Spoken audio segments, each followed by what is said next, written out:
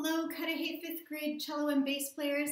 Uh, this is Mrs. Bonkalski here with a video uh, of scales for you to practice along with.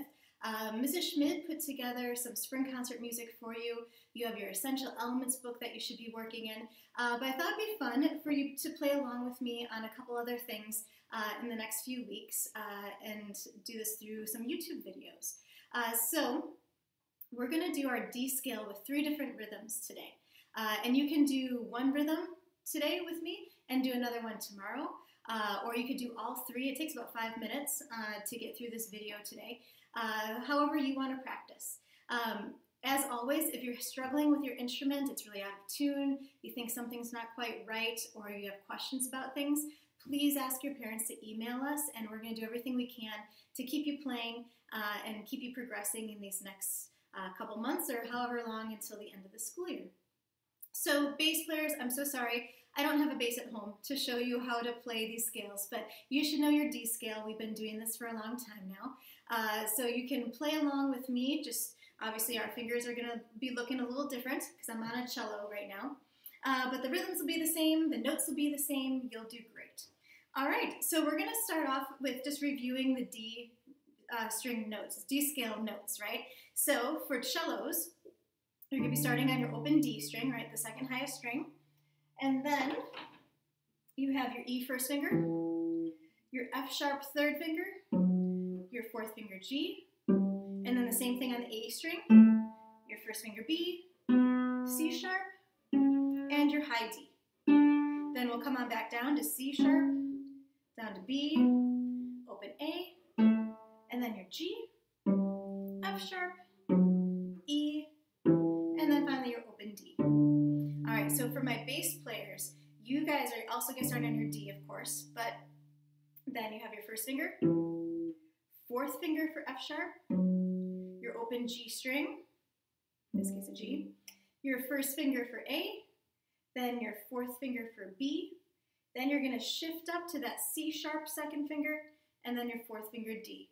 Come back the same way, high D, C sharp, shift back to your B, A, open G, F sharp, E, and D.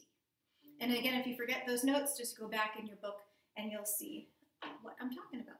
All right, so here's our D scale then with our three different rhythms. The first one we're gonna do is a blueberry rhythm. So blueberry, think long, short, short, okay? Or think in your head, blueberry. All right, so we're gonna do one blueberry per note of the scale going up and then coming right back down. All right, so let's try this together. I'll count it off. Blue, berry, ready, play.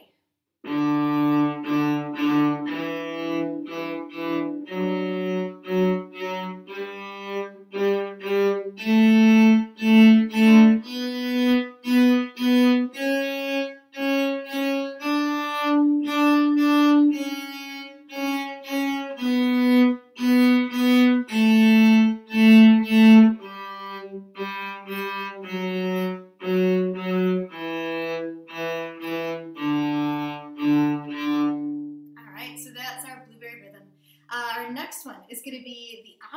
actually. Let's go do an apple pie rhythm. An apple pie goes short, short, long. So in your head you can count apple pie, apple pie. All right, so here's that D scale. Now on an apple pie. Apple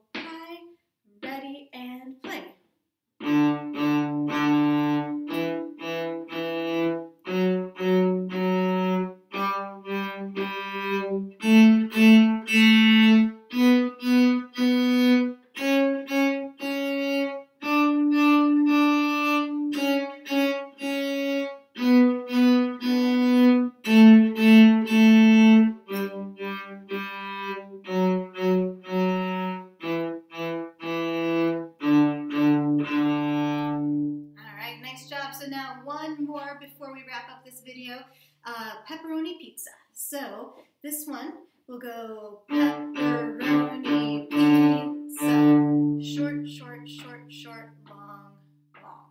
All right, so here we go. Last scale, pepperoni pizza.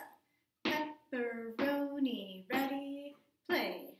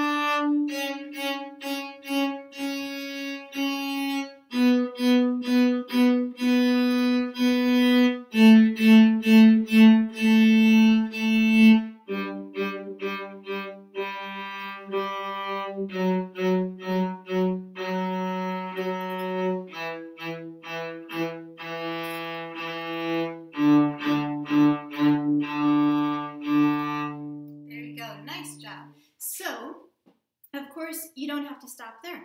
You can make up your own different rhythms for your scales. You could do quarter notes in any number. Uh, you can make up your own words or a sentence. For example, we had tacos for dinner last night. So you could do a rhythm that goes, I like tacos, whatever you would like to do. Uh, so keep practicing, keep playing, and again, keep in touch and let us know if we can help you out with it.